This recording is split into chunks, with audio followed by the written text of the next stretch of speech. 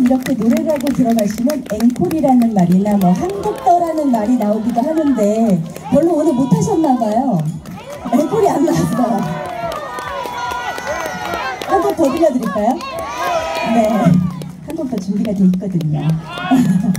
그래서 이번에는 아름다운 나라에 살고 있는 우리가 얼마나 행복한지 들었잖아요. 그래서 여기 계신 분들한테 좀 복을 드리려고 합니다. 어떤 복을 드릴 거냐면요. 흥부의 박을 여기서 한번 타보려고 해요.